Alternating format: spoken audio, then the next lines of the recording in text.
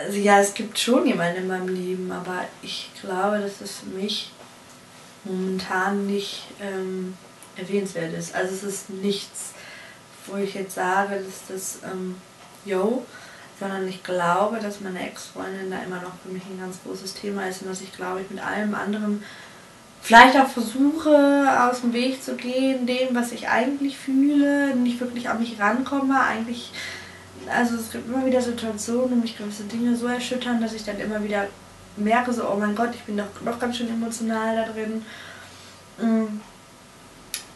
Ich weiß, dass momentan halt auch wieder Männer eine große Rolle spielen ähm, und mein Ex-Freund auch eine große Rolle spielt, ähm, weil das somit einer der prägendsten Männer in meinem Leben, glaube ich, war, ähm, der mir halt gezeigt hat, dass man auch Männern vertrauen kann, weil ich glaube, ich noch ein größeres Problem habe, überhaupt Männer an mich ranzulassen. Also vor allen Dingen emotional, da mache ich sofort dicht. Also ich glaube, es gibt bis zu einem gewissen Punkt, bis zu einer gewissen Verknalltheit und gut finden aber darüber hinaus auch nicht. Es gibt ganz viele Dinge, die ich, wo ich mit Männern überhaupt nicht klarkomme. Und äh, ich glaube, ich manchmal so ein bisschen bereue, dass, es, dass ich ihn kennengelernt habe zu einer Phase im Leben, wo ich glaube ich noch gar nicht dafür bereit war, das auszuprobieren.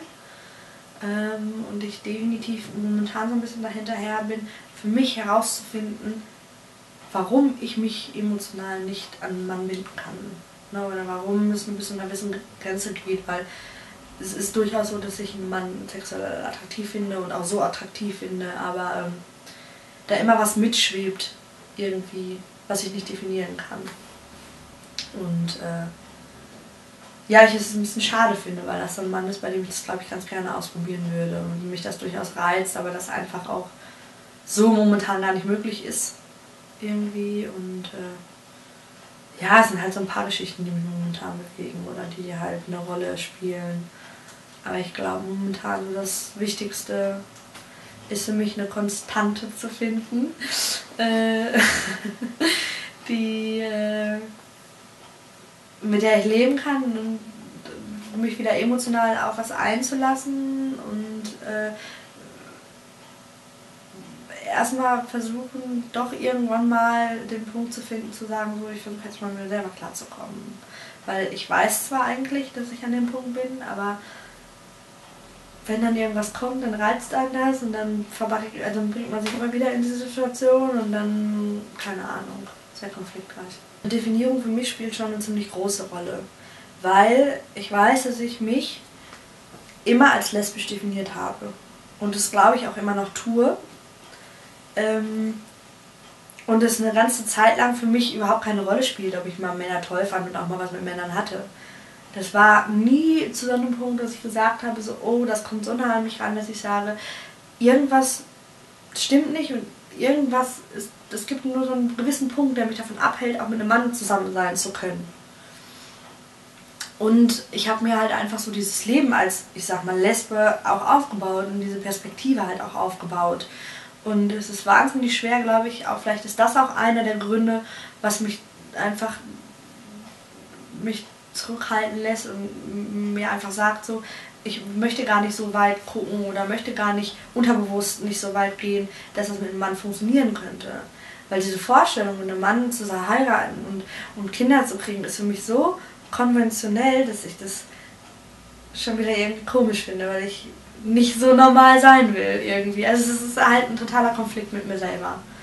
So, und für mich ist es aber tierisch wichtig, mich zu definieren. Weil ich merke immer, sobald ich mit einem Mann zusammen bin, habe ich das Gefühl, so mein ganzes Leben, was ich mir aufgebaut habe, in den Bereichen, in denen ich arbeite, in den Bereichen, mit denen ich mit mein, mein größter Freundeskreis ja im Endeffekt. Ich habe alles Gefühl, das sind so Dinge, die dann zusammenbrechen.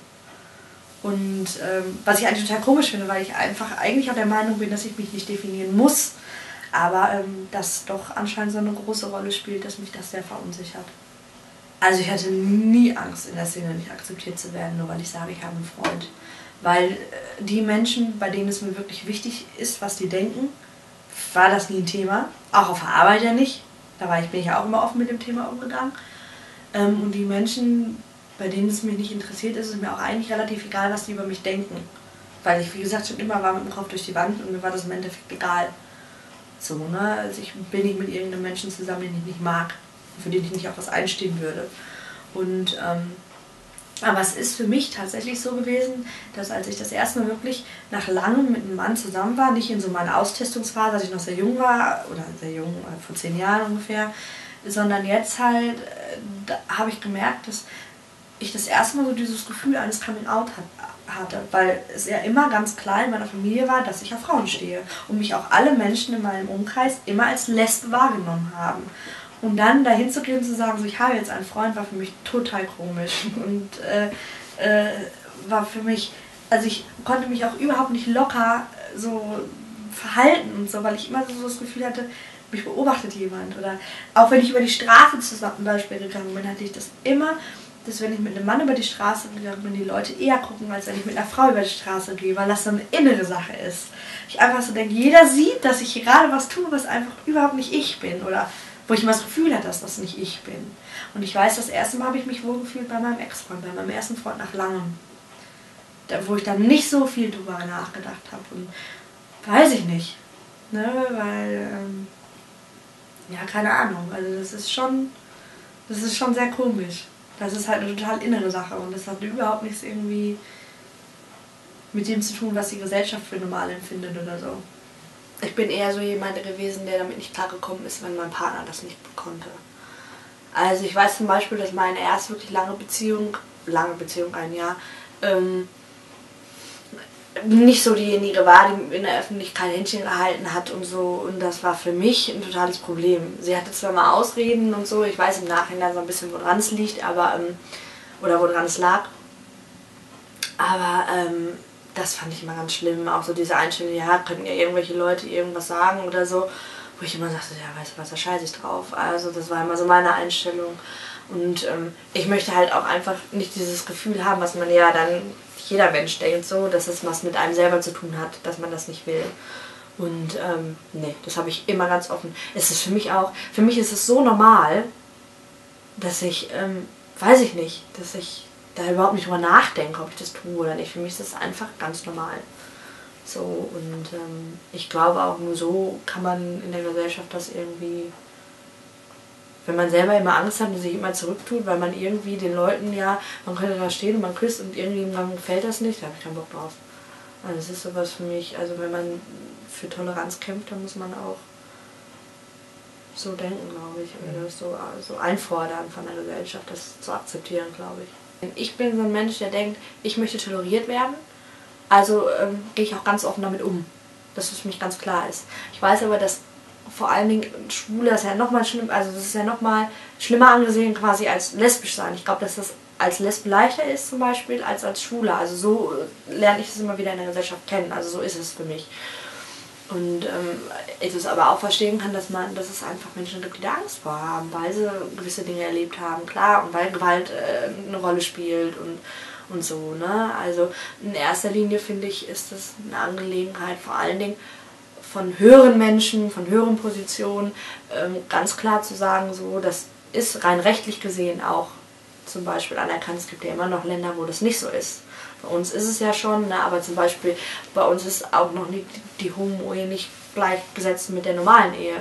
Und das sind so Dinge, wenn das der Staat oder wenn gewisse höhere Positionen das der Gesellschaft nicht vorleben, dann fällt es immer auf. Es ist immer irgendwie nicht was Normales, wenn es einfach nicht als normal anerkannt wird. Das ist ganz schwer zu definieren. Mhm. Ich finde, dass gerade im Kindergarten oder in der Schule das Thema Homosexualität gleichgestellt wird mit Heterosexualität.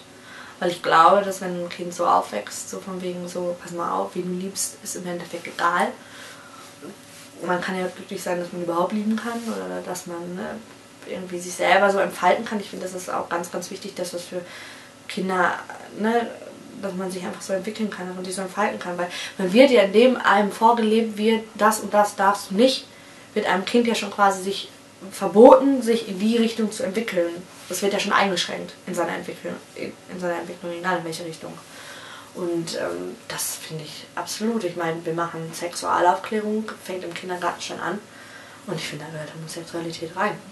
Ganz klar, das gibt es auch gleichgeschlechtlich und nicht nur mit Mama und Papa oder nicht nur mit Mann und Frau.